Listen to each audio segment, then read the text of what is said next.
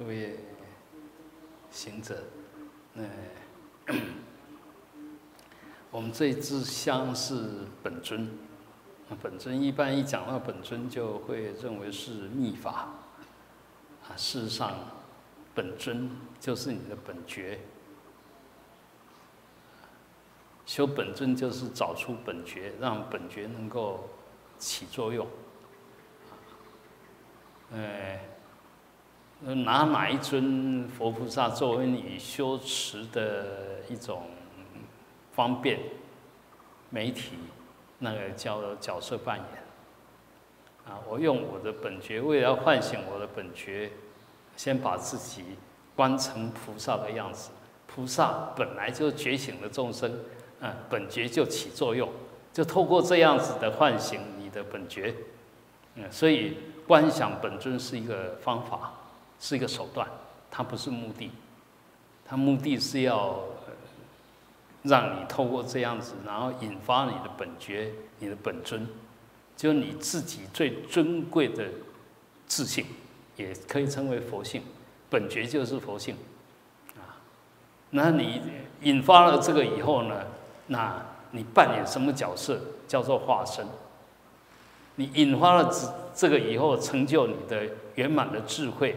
圆满的慈悲叫做报身，那引发了这个以后，然后呃把这个觉性彻底的展现，啊，或者是彻底的一种呃清净，或者把它彻底的面貌，然后给呃呈现出来，那就是法身。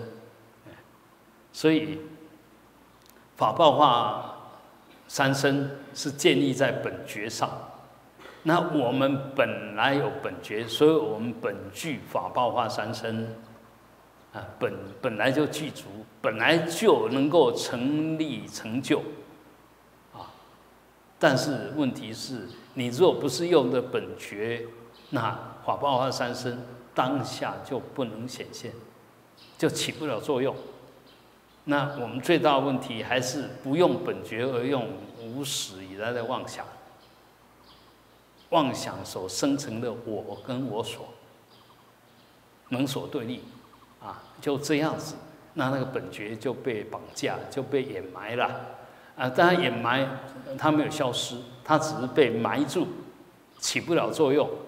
那当你发觉这个我执我见都是假的，也就盖着它的东西是如梦幻泡影的东西，那就直接又可以穿透。去找到你的本觉，你的本觉又可以穿透这些假象，然后呃，接着就显现那个功德，显现几分就成就几分，啊，所以呃，当然要修，当然要修，啊，你要有呃好的功德的呈现，当然就要好的因缘的作为造作，啊，所以我们千万不要说啊，我有佛性，我本来是佛，啊，本来是佛，所以不需要修。其实不是这个样子，不是这，不是这个道理。你本来可以成佛，你更要修，就是因为你有成佛的的本质、本领、本事，所以你更应该修，要掌握这样的机会，掌握这这样条件。所以当然，呃，只要肯修行了，你随时看到他都在修。修什么？当然就修慈悲喜舍啦。修对贪嗔痴慢疑的超越了，就修这些了，啊，对，嗯，修行是很有趣的，修行是不会无聊的，你积极的要强化慈悲喜舍，消极的要转化贪嗔痴慢疑，啊，所以不会无聊，不会没事干，啊。嗯，我们常常说，哎，修行以后怎么办？修行要做什么？有有做什么比成就智慧跟慈悲更有意义？没有。我们现在呃做什么？你要赚那么多钱，就是希望你有很大的能力替自己享用，也可以让别人享用。其实自己享用。不让别人享用，这个是现在年轻人的盲点。现在年轻人结婚不生小孩，你要想一想，其实人存在的就是，嗯，那个蒋中正也有两两句话都在在那个大礼堂里面都有，生活的意义，生命的意义，啊，哎，对，那所以其实我们的生命的存在，其实是要让它发光发热，是要传承的，不然到你这边就断掉了。到你这边断掉，你那个好的传承就接不下去，多可惜呀！你你修的很好，结果你这一份能量断掉了，没有人受用，这个是有点可惜的。那对上面也没交代，但是也千万不要这样想，因为因为一切都是因缘生，不是你刻意不要，你不能刻意不要，但是你要没有。你当然只只好接受，这这我不是排斥，但是我没有这种因缘，那我们就心安理得，因为不是你排斥掉的东西，啊啊，所以很多事情我们如果知道这样，那就是你会很自然、很任运，然后又很洒脱，又可以超越。但是你如果用太多的要跟不要，其实你让自己难过，也对不起你的存在。该做不做绝对错，不该做做当然错，不该做当然错，该做不做也错。所以，呃，人活着本来就有他的生命的一种责任在，所以我们懂这个的话，其实就比较不容易犯错啊。那如果不懂这个，常常用主观的要跟不要，其实无形中就常会犯错，有些错是不能弥补啊，所以。还是要好好的，管好自己的起心动念，就照见它，然后把对的多去执行，把错的尽可能的能够拿掉，不被它起作用，这样其实我们就越来越越好。好，那我们稍微来谈一下本尊。本尊就像我们在看电影一样。扮演那个角色，那为什么有这些嗯那个奥斯卡金像奖啊？其实都颁给谁？颁给剧本里面好有意义，然后又把那个剧本给演活的这些这些人。不管你是主角，你把他演活了，你就最佳主角；你演配角，把他演活了，你就最佳配角。啊啊，所以演什么角色？不是挺重要，把它演活了，演的深入了，那就重要。那一样的，我们凡夫也有凡夫的责任，你要把它演好。但是仅此一凡夫演好，有点可惜。我们人可凡可圣，你演好凡夫的角色以后，进一步要要求自己演好圣者的角色，这生命才有提升啊。啊，不要得少为主，我这样就这样过一辈子，我觉得这样对得起自己，哎，这样够了。那其实太没有理想性，啊，那反过来讲，如果理想性太高不能落实，那就不自量力，其实也会弄得满满头包，是一事无成，啊，就是很重要的你都不把它看成重要，不重要你把它反而弄得很重要，到最后一事无成。啊白忙一场啊，所以，呃，慢慢你也会检验出什么是有价值，什么没价值，啊，慢慢的，以前以为很有意义的，当你也努力的去做了以后，才发觉你认为的意义是一厢情愿的，并不是跟你想的一样，啊，你也慢慢就放松了，反正我已经做了我该做的，其实也不需要再计较得失了。但是你如果没有尝试，没有去做过，你会一直在妄想，一直在想：哎，我什么事没做，什么事没做，以为做它就真有意义。其实很多事情，照做的、主观的，大部分都没有多大意义。随缘的会有多会有意义，因为随缘就是需要人家。需要你帮忙的时候，你伸出援手，那很有意义。不需要你帮忙，你伸出援手，人家会觉得你多事，你有优越感，啊，所以其实连行善都不要太着痕迹，都不要太经营，不需要刻意的要去行善，随缘行善。同样，像放生更是这个样子，放生一定要随缘放生，不是去买来放生。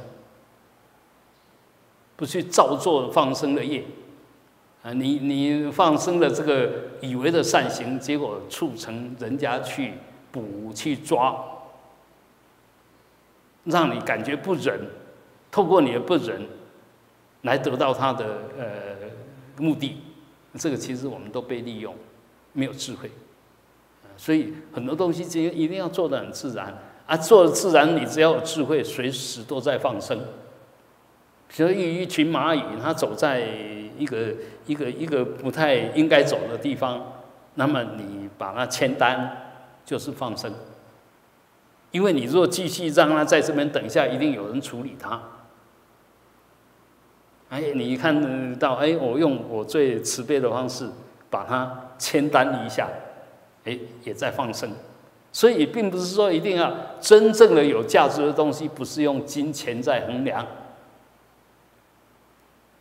可以用金钱衡量的，那价值都有限，啊，所以呃，我们若理解这个，那就是随缘，随缘其实是最好的方式啊。你能做，也有机会做，那就去做就好，不要刻意做，刻意做就会造成有人善用人性的弱点，人性的弱点包括想行善都是人性的弱点。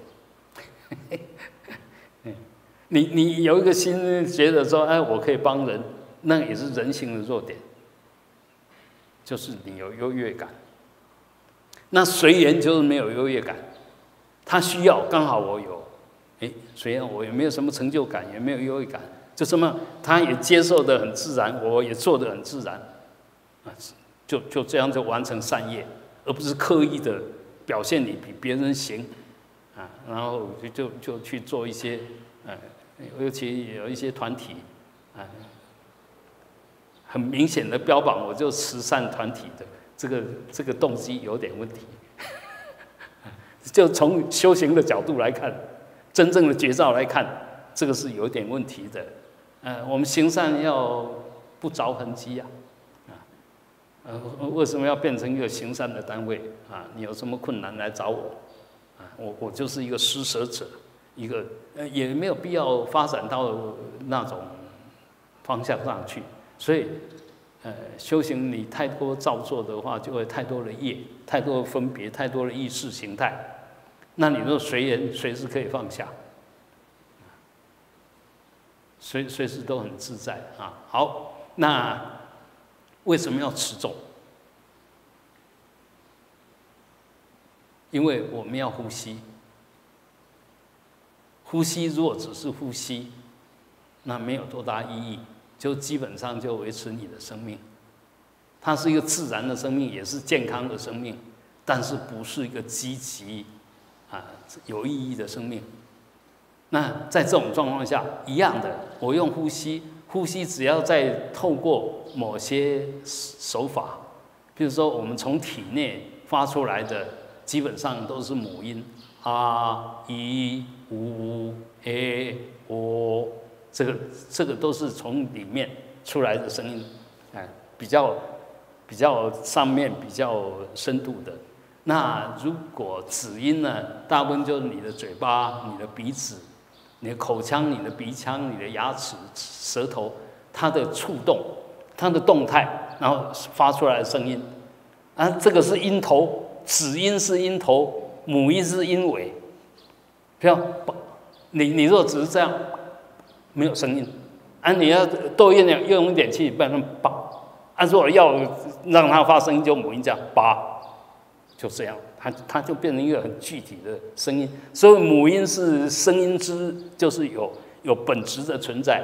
那辅音只是让这个这个声音有表情、有符号、有色彩啊，就从哪边出来。好，那么你发出一个音的时候，其实全身的合作。那发音它本身就有一个音波，发音本身就有一个动机，发音本身就有一个意义。那为什么要念佛？为什么要持咒？因为你念佛的话，这个声音里面就有佛的功德、佛的呃内涵在，所以你念它比念别的东西就来的有意义，来的有功德。那同样的咒就又跟佛号又另外一层的呃意义。咒呢，就直接就是说，所有这个佛菩萨他的功德力，透过音波最简略的一种呈现。哎，咒有长咒，有短咒。长咒呢，就详细的、比较详细的描述这一尊佛菩萨他的功德所在。那短咒呢，我们又称为呃心咒的。就它的浓缩以后，就这几个声音就代表了这个佛菩萨的修为的内涵。也就是说，你只要不断的重复这几个音，通过这个音的音波，然后慢慢呈现出这个音的意义，慢慢的呈现出这个音的功德，啊，你就受用了。就从它只是一个呼吸，只是一个音声，到最后变成意义的变满，功德的展现。所以你。只要念咒念多了以后，一定身心会起明显的变化。但是在这里面，当然有一个基本的，就是你发音最好就是把它发准。你若发不准的时候，那个音波就不是它原来应该有的样子，所以它产生出来的作用也就会失真，嗯，就会扭曲。所以，呃，那当然我们也知道，大部分的咒。来源都是梵文，所以大部分的咒应该都用梵音来念，它原始就是梵梵音嘛哈。那到我们中国以后，我们中国也发明了一些咒，啊，那就变成我们的发音方式。那因为这些祖师大德有他的功德，所以他传下这些咒，譬如说普安咒，啊，那就普安祖师他传下来的咒。其实，呃，应该是普安祖师那时候他自己持的咒，啊，我去研究了一下，他的咒其实就是在念梵文的五十个音，他是不断的呃去把它重复，用各种方式去把它去把它变化啊，因为我也玩过了，就几个声音你在那玩，会到这样嘴巴它自然会有一些不同的组合，然后，组合以后就发发出那种。声音，那你一次、两次、三次以后，它变成一个定型的东西。你每一次一玩，它就这样子出来了。啊，久而久之就变成你的咒。啊，那现在有些，嗯，我们所谓跑灵山呐，就有一些会感应的，碰碰到佛菩萨就会乱讲话的，啊，就就讲那些说是天语啦、梵语啦什么，其实什么语都不是，那叫散乱语。就是随性语，我想发什么音就发什么音，里面没有任何内涵，也没有任何意义。但是因为我们都不懂，讲的人不懂，把他说的天花乱坠；听的人不懂，把他想的哇，这个超出我的思意，不可思议。其实他是乱讲的，他是 at random，就是在一种完全随机的一种发声方式，那就会呃就流出一串。那个声音出来，其实里面没有真正的意义。但是呢，你这样做的时候，做做到对的时候，你会觉得很舒服。哎，舌头、嘴巴不断在变、跳动，哎，觉得很舒服。头脑也很清楚。但是它是不是咒呢？它不是咒，因为里面没有什么具体的功德啊。所以要变成咒，绝对不是随便说说就可以，还是要经得起检验。那经过几起检验，就譬如说啊，我们说文殊咒，啊，说四悲观音就是观世音菩萨的六字大明咒，这个都是很长时间的检验，然后实践，然后也果然可以呈现他的功德。啊，譬如金刚萨埵的咒，啊，都是短短的，真正的咒都都都不会太长。那大悲咒，当然我刚刚讲长咒就在描述他的功德，比较具体的。所以里面一定有那个意义在，不会没有意义，都有意义。短咒也有意义，长咒也有意义。但是我们持咒的时候，如果一下子就懂它的意义，然后可以把意义呈现出来，你持咒就更容易相应。但是因为一般意义你说不完全啊，然后也不容易懂，所以一开始就照念啊，你就照念就好。最好念到某一个程度以后，你还是要告诉他意义。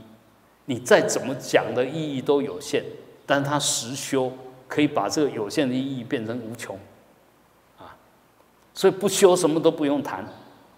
但是如果只是修不懂道理，也不能谈得太深，就它的作用很有限啊。所以呃，一样的，我们每一个人的身心都是一个发声的工具。那为什么诗人能够吟出？那么美的诗，那我们为什么讲出来的话都让人讨厌？内涵的关系啊，你的内涵就是造成的这个你有什么内容嘛？那现在我我们刚刚讲角色扮演，我知道我是凡夫，但是我现在要扮演，希望能够学观世音菩萨，那我就多念 Om Mani Padme Hum，Om Mani Padme 哎，久而久之。那观世音菩萨的功德就会在我里面让我受用，慢慢的感染，到最后你就有观世音菩萨的功德。哎，我即使没有功德，我念 Om Mani Padme Hum，已经功德不可思议，真的。你念这六个字，功德就不可思议啊。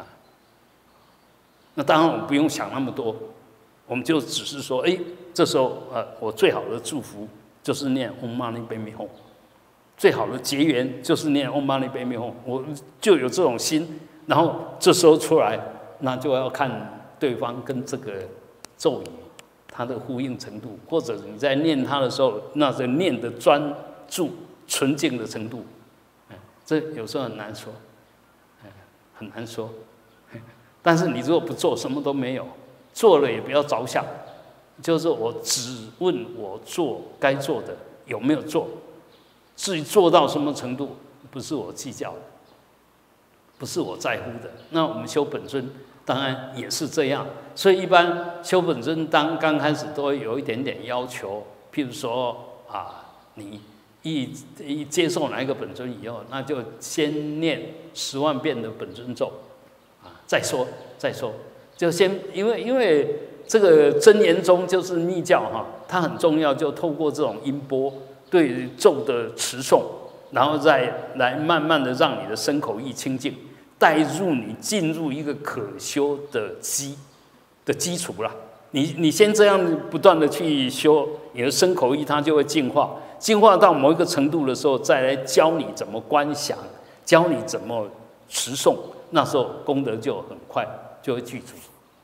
所以它其实它是有次第的，有步骤，那这个当然都有它的意义在，啊，那所以我想，啊，为什么我们要修这个？因为现在基本上就我我所传的东西，其实它是一个很简单的，没有很复杂的内容，也没有很高的难度，难就难在你愿不愿意，你相信不相信，啊，你相信哎这样做有用，我也愿意这样做，如果这样做，接着下去。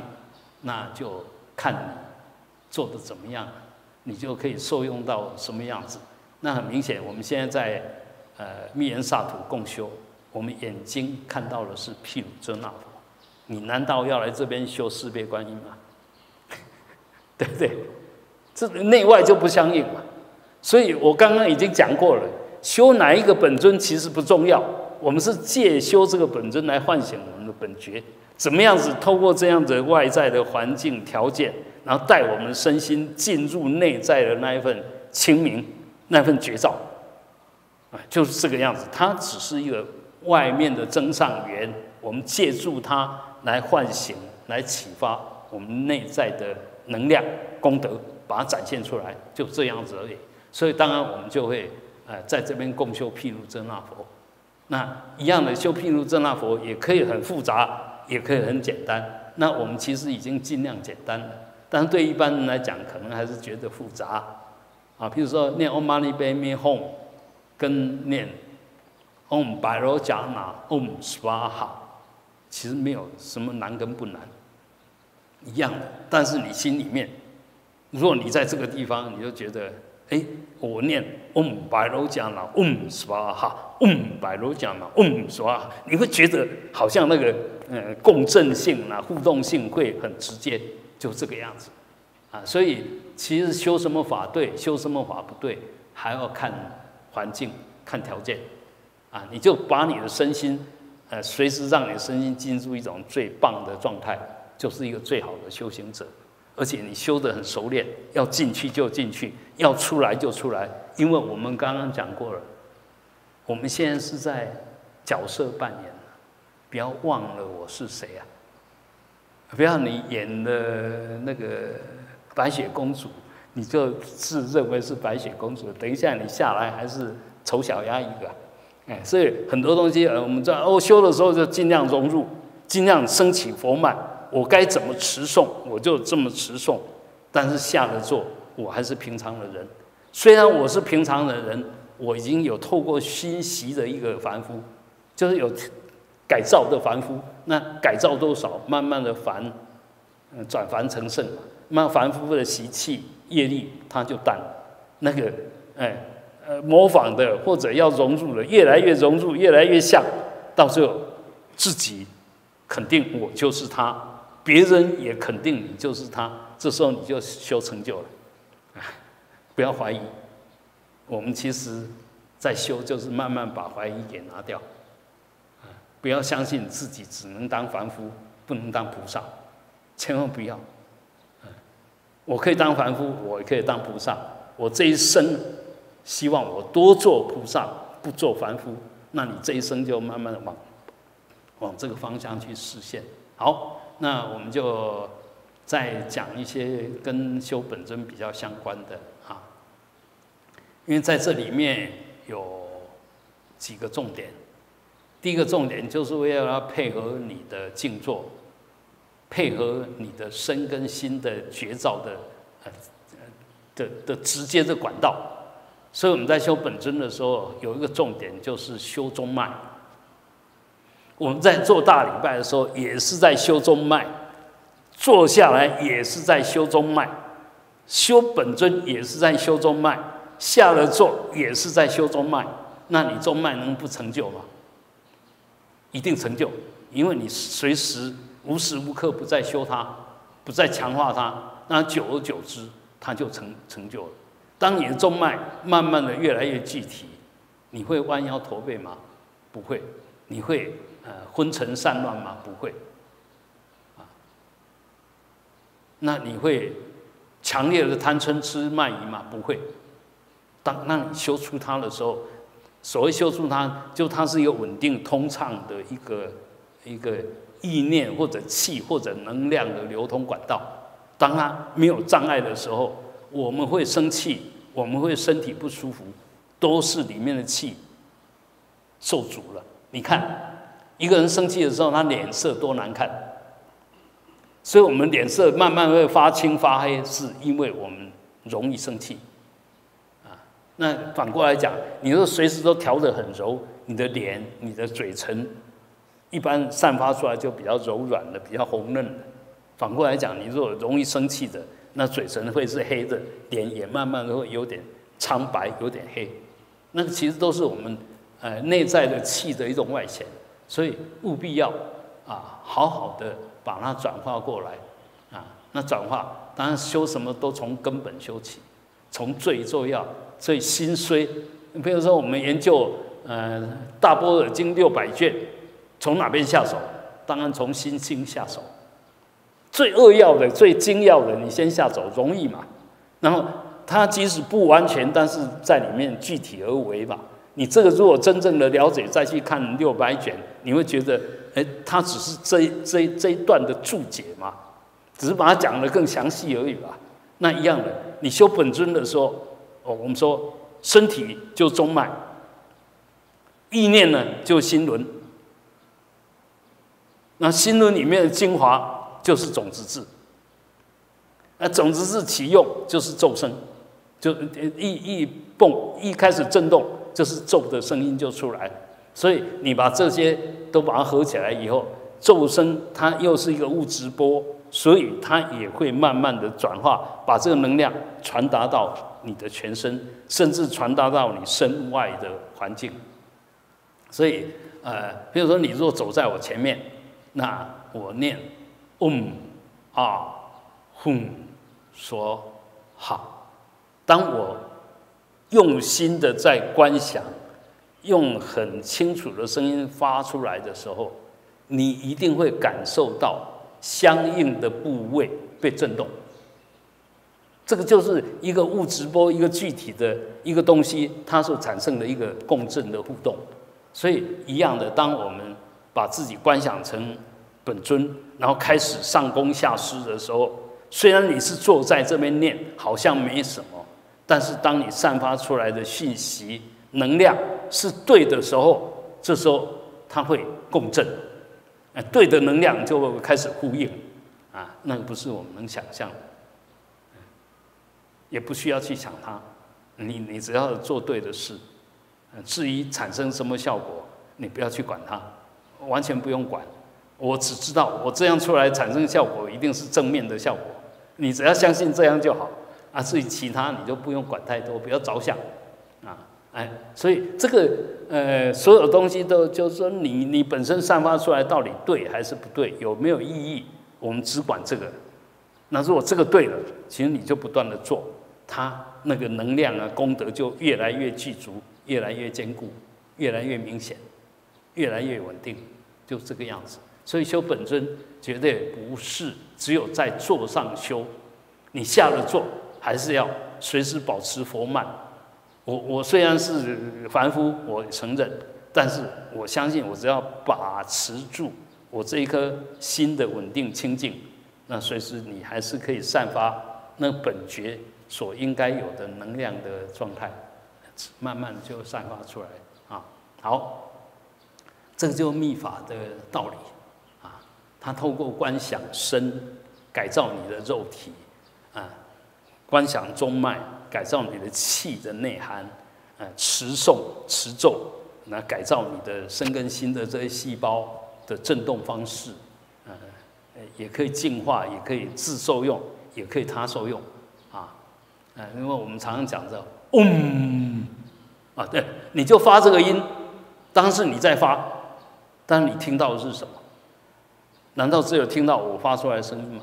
你甚至还听到好像有上面有一个声音在共振，哎，就我发声，它启动整个法界的共振嘛。那你这个能量越强，当然共振的可能性振幅也就相对的大。你你一弄，就有人跟你呼应嘛，一呼百应啊，因为你有能量。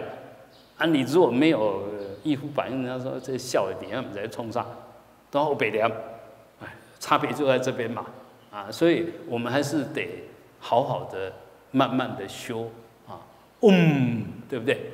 哎，你你，但这个声音出来，你就发觉它的音场绝对不仅只是在我的身体里面嘛，它已经散发出来了，啊，那边啊。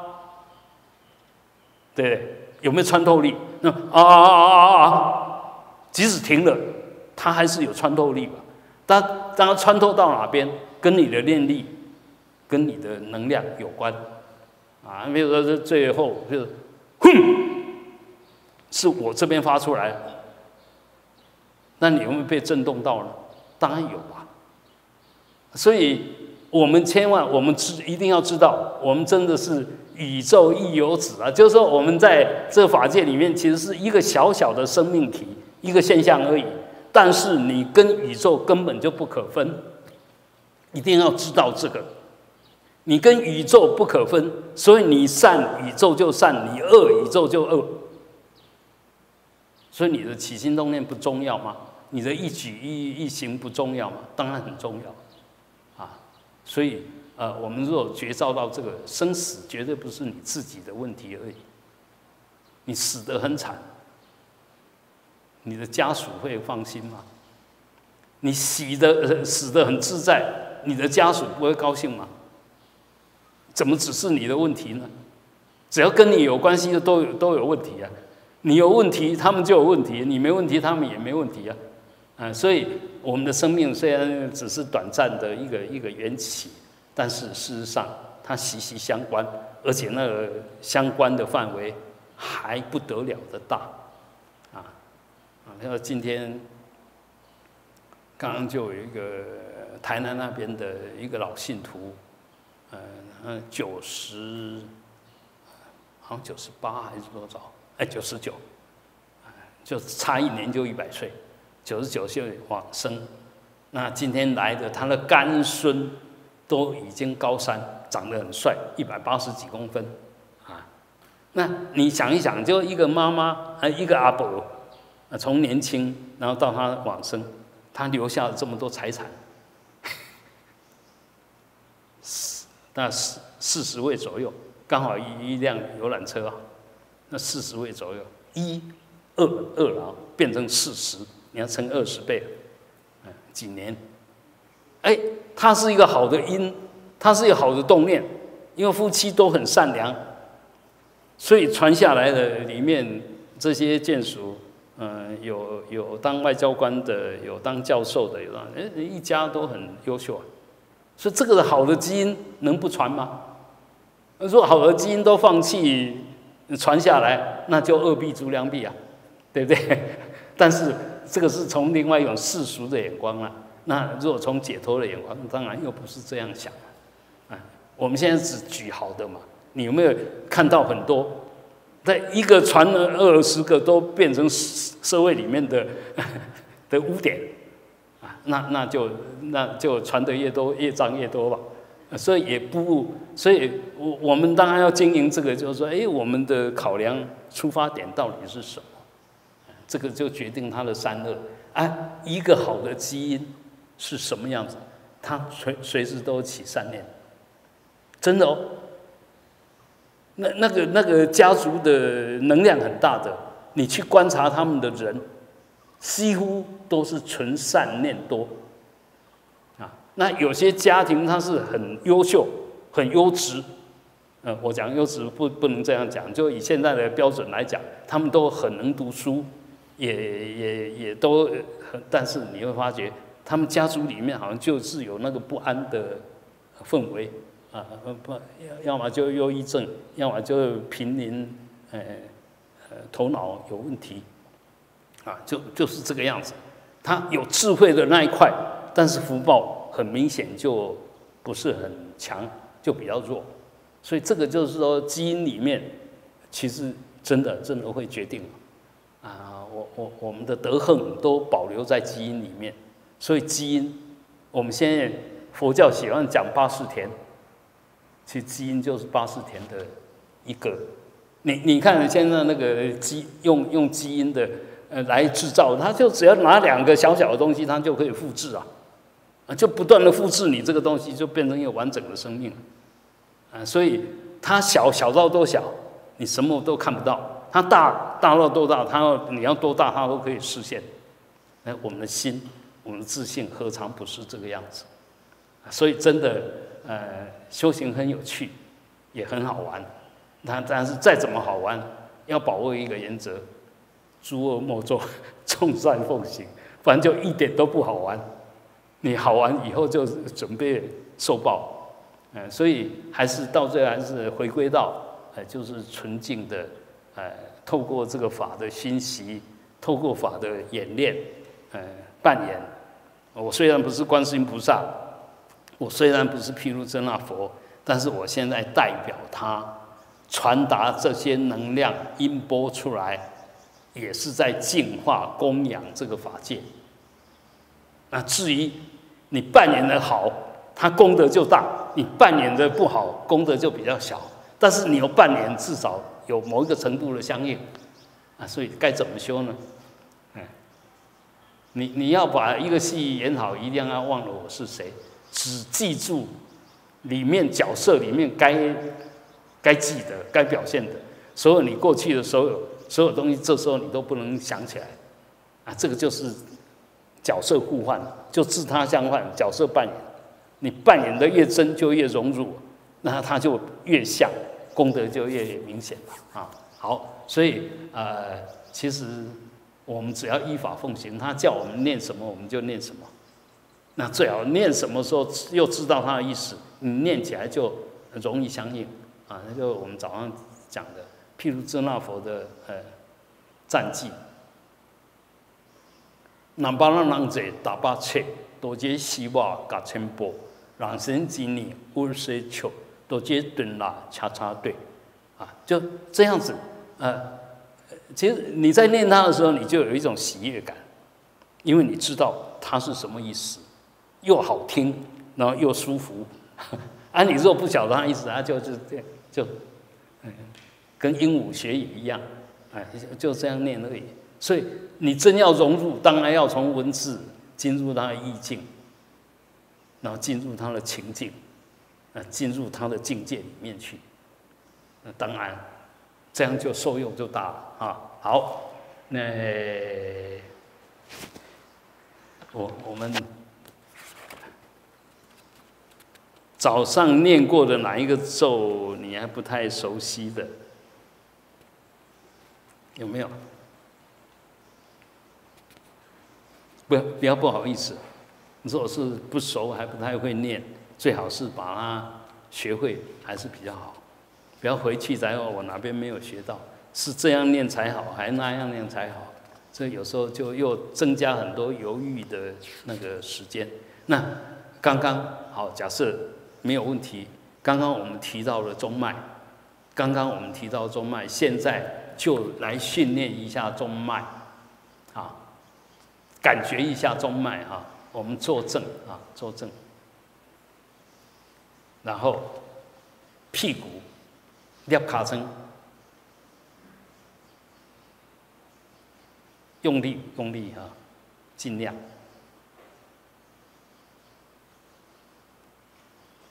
就感觉你密轮那个地方它微微在震动，然后你再想一下你的头顶，啊，如果还不知道不容易想，你把手放到你的头顶上，然后去摸一下，有一个地方。有一点点凹或者有一点点凸，那它相对的又比较软，比旁边按起来都比较软的地方，那就是你的顶轮，就梵天穴，就是你的顶轮，然后屁股一夹，然后让那股震动跟手这个手心这个呃呃顶轮的震动，让它结合起来。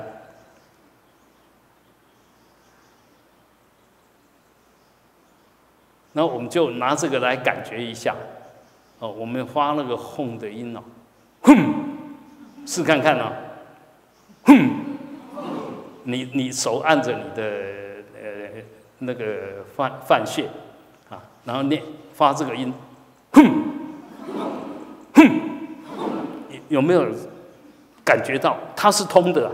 你发它的时候震动就在这个地方，所以基本上我们身体里面哈。能量的传导其实很重要的，最重要的其实就是我们的中脉。那相对的接近于它的就是我们的，我们说中枢神经，就是我们的脊椎，它跟它息息相关。所以一样的，你如果这中脉修得起来，脊椎一定不会有障碍。中脉修得起来，你姿势好。啊，我可以这样讲。昨天那个那个 日本那一个工程师来，呃，就坐坐在我旁边。他一看我一坐坐这个样子，他很快就学我做这个样子。他他一直就是说觉得，哎，你，他就是说我怎么能做的那么直？其实没什么，就习惯了，养成习惯了。啊，那有些人才二三十岁就弯腰驼背了，也是习惯了。按理说那个习惯好吗？当然不好了，啊，所以很多东西其实你要展现你的自信，或者让人家对你有信心，你一定要抬头挺胸，就是那份自信，啊，不是不是一种，不是一种压抑性的，而是一种很自然的流露出来那一份自在，一定要展现出来，才不会阻挡你自己的能量。其实我们的惯性。会限制我们的能量的发挥，啊，有些无形中就已经你就被它掌握了，所以一定要想尽办法把这些都突破，为什么要去做大礼拜？就从头到脚，只要有障碍，你一定要把它突破，要要把它丢掉，把它转化。那久而久之，你就展现出来就是一个很有效率、很有能量的身心状态。我们修就修这些而已啊，不要讲，不要谈太高深的道理，没有意义啦。啊，比如说一面念一面在那边打瞌睡，你念它干什么？为什么不去睡觉？嗯，何必那么痛苦？一面念一面打瞌睡，何必呢？啊，所以很多东西就我们如果保持绝招，你不会做那一种事。保持绝招，就随时让你的身心都在好的状态，不是一定要做什么。啊，我们一般养成的信心或者惯惯性，会让我们以为一定要做什么，我习惯做什么，不做他心就不安。其实不是要你那个样子，真真正修行不是要你变成那个样子。所以，如果往那个路上逼近的那个，其实已经走错方向，走错路，因为智慧不见了，绝招不见了。解脱不可能出现，所有解脱是来自于智慧的解脱，所有解脱来自于知见的解脱，啊，就知见的超越，所以绝对不是一个什么习惯、什么作为，那个那个其实一点都不重要，啊，当然我讲一点都不重要，就它绝对不是真正重要的，真正重要是你依于那个正确的解脱的知见所展现出来的行为。那才能够帮你解脱，不是用某一种形式能够帮你解脱，因为他根本就没有解脱的因，根本就没有解脱的因，也就根本就没有智慧，那怎么会解脱呢？当然不可能啦，啊，所以，呃，我们修本尊其实也要修持佛曼，修持佛曼就是说自信，我是可以成佛的，我随时可以扮演佛的角色。啊大家有没有信心啊？有没有把握？当然，我们知道我们的习气业力还是很重，这个不能否定。但是你一定要晓得，你的佛性比你的业力更稳定，而且更真实、更究竟。啊，不要太相信你的业力习气，反而应该相信你本具如来智慧德相。只要我愿意，随时可以展展现。这样就就比较容易，所以其实我常常讲说，密法其实是整个佛法到最后的一个最圆融的、最涵盖、最丰富的一种教派，但是也因为涵盖的太圆满，所以显得有点太复杂，然后也显得有点嗯不太容易掌握，到最后就走出、发展出很多不太理想的状况出现了。那我们现在是希望把这个圆满的展现，又把它回归到简单的动机、简单的操作。如果能这样，其实是 OK 的。那虽然简单，它已经涵盖了复杂，就复杂的内涵已经涵盖这个简单的作为里面。那你就只要简单的这样一直修，慢慢那个很丰富的功德也会让你体验到。那当然也不是那么简单，因为。因缘不具足，那就不可能有那个呃果相出现。但反过来讲呢，我们只问耕耘，不问收获。我只问我做的对不对，我有没有在做。只要一直做下去，你累积多少因缘，就呈现多少果德嘛。呃，果相的功德自然就会展现。你首先，呃，第一个就不让自己呃随便的就被你的情绪、被你的妄想带走。你如果能够做做到这个，已经改头换面，别人会觉得不可思议。以前是这个这样子的人，现在怎么变成那样子了？以前随便紧喵的招来龙的人，哎，今麦喵半刚一下拢无无准文，哎，人家就会刮目相看啊。其实就这个就是说，你你是依依法。在做还是依你的习气在做而已，别人看到都是你的习气的呈现。当然，你用法就改造你的习气，啊，改造习气以后表现出来的行为就不一样。当然，又人家又看到你的外向，当然就又有他的评价。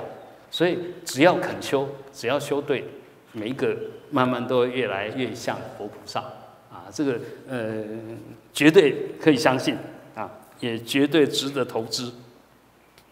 好，那我们呃不晓得我要讲啊，我们再来想一下哈，顶轮，顶轮是在中脉的开口处啊，那你也可以让它进去一点点。有一种说法就是啊，我们的松果体。就顶轮的那个活动中心，就是你在脑的中央那个地方，啊，然后喉轮当然就习惯就在这个地方凹下去的地方，喉轮，那心轮就心脏凹下去的地方进去，脊轮呢，脊轮就在脊下面，你往下三指符按一按，是不是有一个拉的收在？所以脊轮是在脊下的地方，不是在脊进去，是在脊。下面一点点进去，那密轮当然就在大小便的中间，所以基本上这五个轮脉，它是可以感觉得到，可以修的，可以有觉受的，可以有作用的。你修顶轮修得好，不会打妄想；你喉轮修得好，讲话不会有障碍，不会吞吞吐吐，语言。就可以很顺畅，可以辩才无碍。声音呢，也慢慢也会变得很讨好，就很容易让人家接受。所以这个又叫智慧轮。你转了以后，你的说话就变得很有说服力。那心轮呢，那就是我们的本体啦，我们的佛性。所以你心轮如果打开，绝对没有烦恼。这个是妄想。这个是情绪烦恼，那不舒服的感觉，不舒服的感觉在心呐，啊，我们说痛心痛心呐，你不舒服不是脑脑子在不舒服，是心在不舒服，所以到最后你若心轮打通了以后，随时情绪都会很很稳定，而且心里面都很随时保持愉悦，这心轮打开了，调整好，那几轮是我们能量的轮，如果你几轮修得好。不容易昏沉掉举，而且不会怕热怕冷，而且会很有定力，而且会很有能量。道家称它为丹田，就你的功德就在这边修，你的身体的功德了，就属于能量的就修几轮。那密轮呢？其实密轮就有关我们生死了，我们有关我们遗传，有关我们的来来去去。你为什么会再生？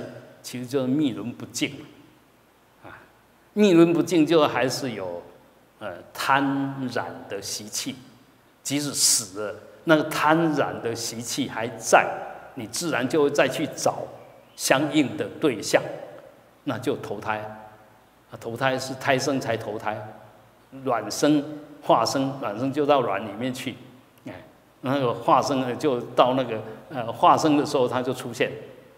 胎卵湿化都是这样子，我们那一念密轮没有净化，就生生死死轮回不断，所以到最后这些都要净化。那反过来讲，如果密轮净化了以后呢，我们道家称它为炼精化气、炼气化神、炼神还虚、炼虚合道。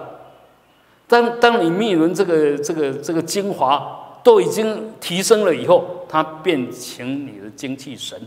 甚至可以来跟法界、跟道体融为一体，那能量就会出来。那一般我们都是把它耗损掉，耗损掉，所以就没有办法入道，没有办法去更进一步的让你的身身体达到某一个进化。所以一般的，你可以想一想，这些作画的，或者是直接就画红光什么，它靠什么来？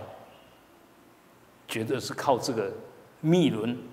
结合几轮的能量，然后透过心轮，然后到的话受用轮、变化轮，那直接就融入法界了。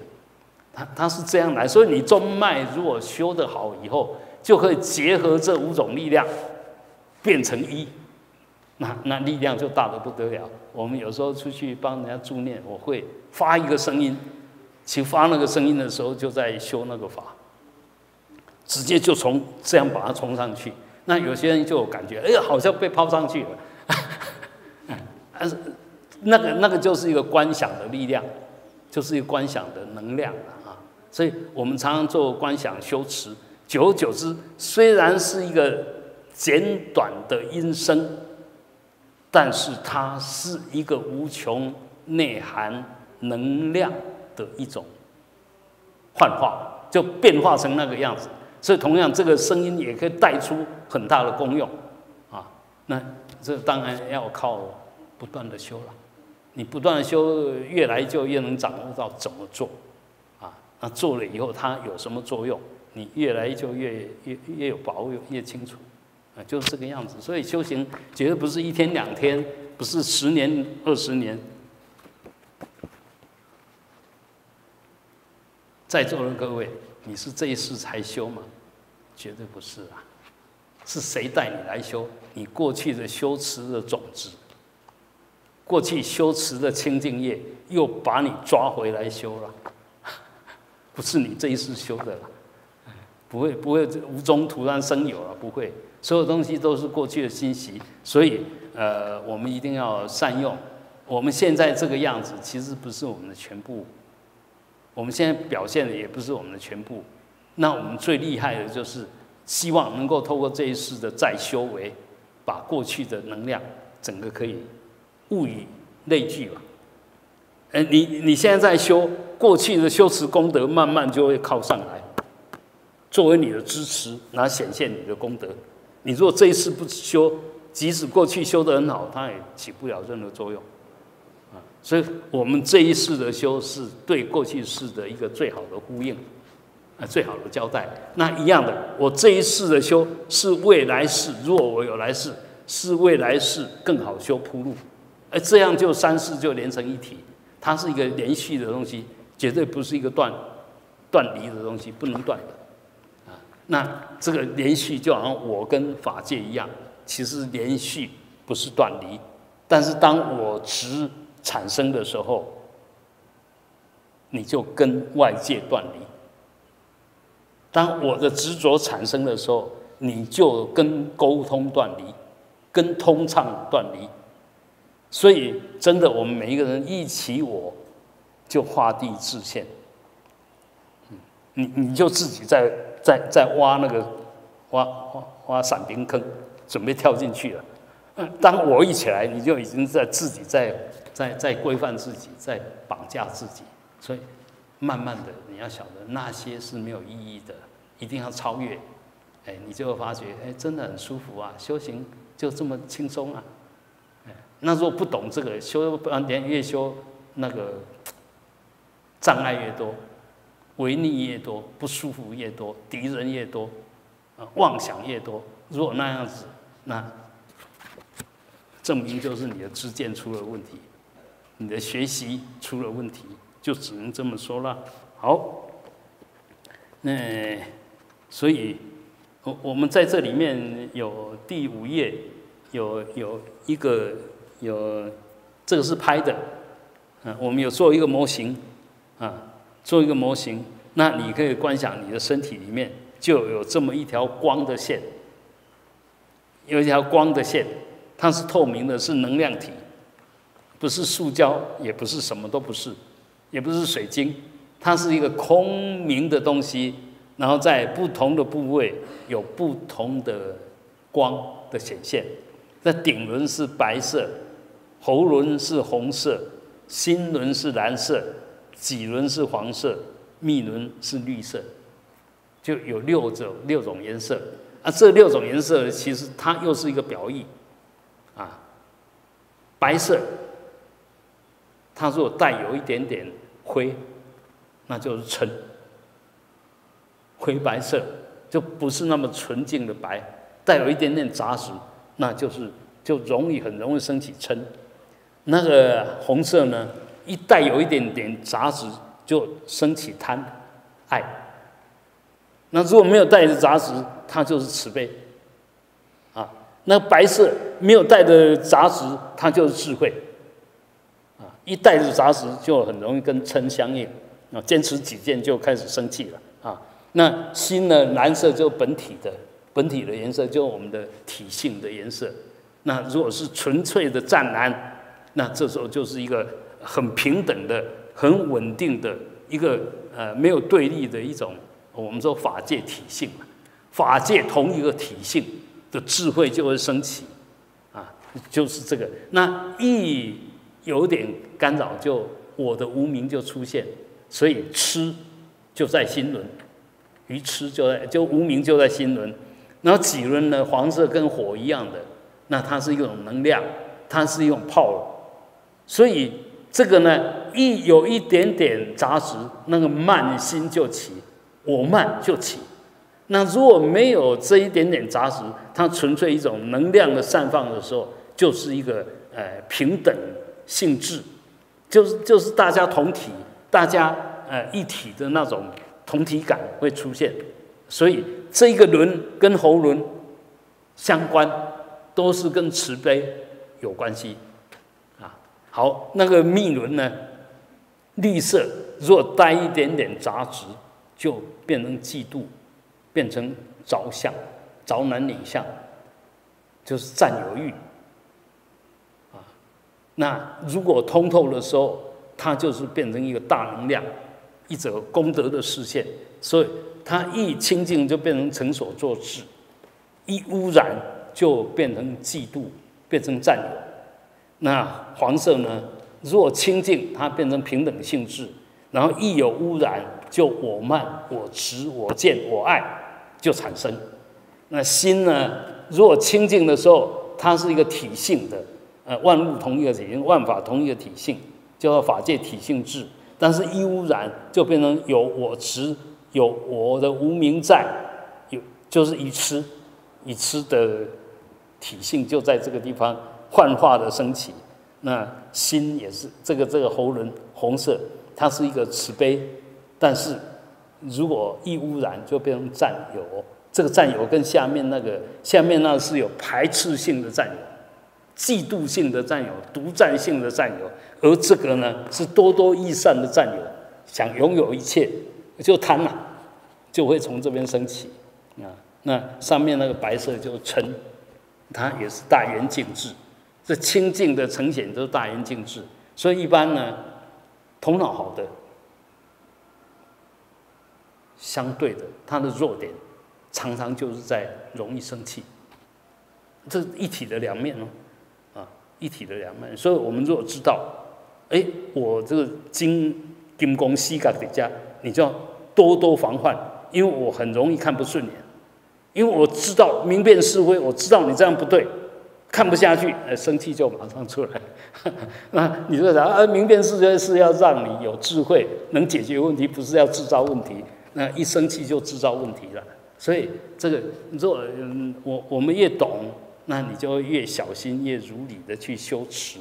当然，呃，所有的障碍的功的的那个过失，慢慢就可以减少。好，好。我们现在一起来念一下那个譬如遮那佛的大灌顶光真言，我们可以也稍微的解释一下。啊，我们 Om 很明显就是顶轮嘛，顶轮刚刚不是就是说呃大圆镜智吗？啊，就大圆镜智吧。懂？阿摩嘎，阿摩嘎是不空成就佛，不空成就，不空成就佛就事业部的。卡玛就是吉摩部的部主，所以他就不空成就佛在密轮，在密轮啊。嗡阿摩嘎百罗恰那就譬如真那佛，那譬如真那佛是我是本尊，本尊就是我的心。马哈穆特拉马哈穆特拉大相应，大手印，我用我的心来跟譬如真那佛的心相应啊，所以在顶密。心，啊，然后 Om Amoga 白罗加那马哈穆特拉玛尼摩尼宝珠在宝部，宝部就是几轮，Bagma 莲花在喉轮，啊，就这样，你念一个咒，其实五个轮五方佛都已经具足在你的身体里面，啊，吉巴拉就从这五个轮放光，从五个轮白光、红光、蓝光、黄光、绿光，哎，这五方佛的光放出来，Prabhadaya 就传遍整个法界，嗯，Prabhadaya，轰就是成就，所以你看这一个咒，它的观想、它的功德、它的威力有多大？Om Amogha Baro Jana Mahamudra Mani Bema prada 呀哄轰，这这个就是一个完整的观想。啊。所以你如果只是持咒，你可以这样持。那但等一下，呃，下一次我们修本尊，就下一座我们修本尊的时候，我们会一个轮一个轮修，就是配合这五个轮的集中，然后来净化某一个轮，净化某一个轮，这样会更强。但平常你如果没有这样子的观修的话，你就可以用刚刚那种方式，就静下来。现在有空，嗡阿摩嘎巴罗迦那玛哈穆德拉玛尼贝玛。吉巴拉布拉巴达呀，哼，慢慢的念，慢慢的观想，嗡顶轮，阿摩嘎密轮，啊，白罗迦那马哈穆特拉心轮，啊，玛尼几轮，贝玛喉轮，然后从这五个轮放光，白红黄蓝绿，啊，白红蓝黄绿五色光，然后把这个光。遍满整个法界，啪啪打呀，就遍满的意思，变造的意思，啊，哄就是成就。所以你这样，你可以想一想啊，你如果没事，然后就这样念，念几遍，算几遍，啊，你随时都在净化你的身口意功德事业，就在净化你的五个轮，在弱化你的贪嗔痴慢疑，在强化你的五方佛的智慧。那所以你这样一直修下去，不会有成就吗？有什么比这个更更有意义、更具体、更好修的？我觉得没有。我这样一辈子虽然也不算什么，也真正的整整五十年了，投入在修持上，在佛法的学习上五十年喽。哎，我到最后整理出来，觉得就这样修最简单，而且很容易，而且很容易相应。啊就就这样子，那我也不会藏私，我不故我也不会故作神秘，我不会留后留后步留一手，嗯，就请囊相授。那当然，因为我的功德有限，所以丢出来也没什么稀奇的。但是希望就大家能够哎试看看，就去做看看，你越做就会越有兴趣，越做就越能掌握到什么。你会发现，哎，就这样一直做下去。就对了，只要这样一直做下去就对了。你这在这样做的时候，你当下可以肯定，这时候我是对的。你每一个当下都肯定是对，难道会不对吗？到最后，哎，没有比随时做对更对的了。你一个人再怎么对，都是随时做对，是我这绝对的对了，就是真正的对。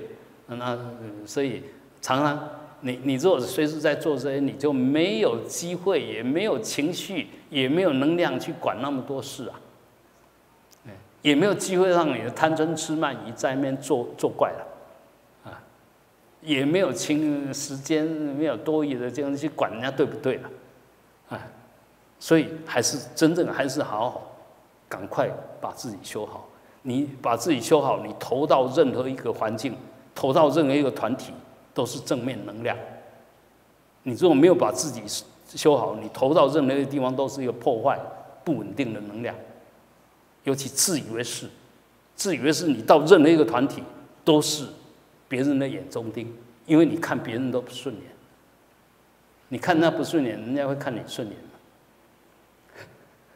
那 这这就因果关系吧？这就是反作用力嘛？你怎么对待人家，人家就怎么对待你，就是很简单。那如果我们到任何地方都是很安定的、很、很、很安详的、很融合的，那谁会排斥你？不可能吧？所以真的，所有错都是我们错，所有对也是因为我们对，啊，那当然对，不要以对自居；那错，不要以为自己没有错。啊，呃，这个就如实吧。我错了，我知道我错了；我对了，我知道我对了。那我错了，我改是我的责任；我对了，我只是做我应该做的嘛。啊，我们老和尚讲的，做对了是应该的嘛，本来就是你的本分啊。做对有什么好比较？那做错你要赶赶紧反省改造。那反过来讲。你说人家错，能改变什么？不能改变什么。你说别人错，你能改变什么？知道自己错能改变，说别人错能改变什么？所以赶快把那个力量转回来，哎，转回来来来来来整理自己，来整理自己，那就会快得多，全力以赴了。真的还是诸恶莫作，众善奉行吧。好，那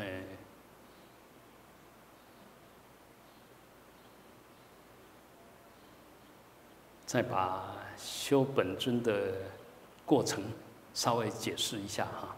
首先，我们在修一个法之前，有所谓的准备，准备就营造气氛，也叫前行。那前行基本上就一定是啊，做一些啊前面庄严的观想，上方。观想，周遭观想，那当当然在密法里面，可能就是观想，呃，本尊在面前，上师在头上。那我们其实也不需要那么复杂，我们就观想本尊在前面就好，啊，就观想本尊在前面。那你进一步把它观想，本尊就是上师，上师就是本尊，哎，这么就把两个变成一个了，啊，然后接着呢？本尊就是我，我就是本尊，又把相对变成一个了，啊，就这样慢慢的把这个整个法界变成一，变成一个不是对立的东西，不是相对的东西。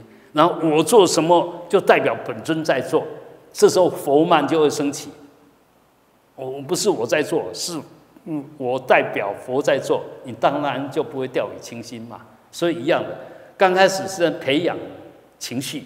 培养情境，培养自己的那份恭敬的心。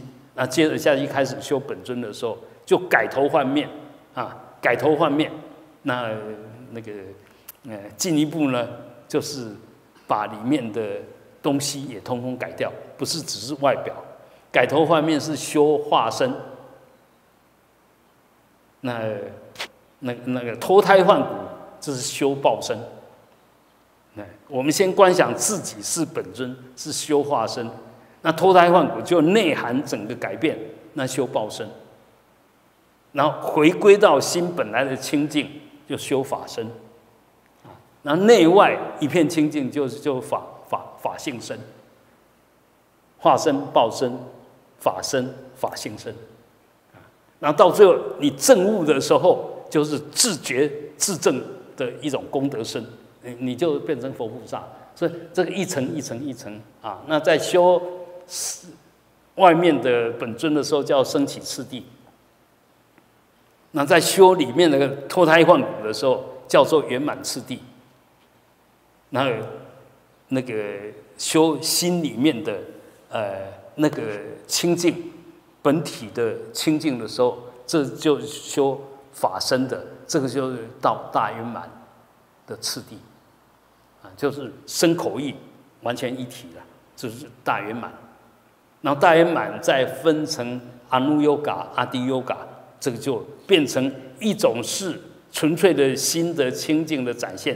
另外一种呢，就清净能量的爆发。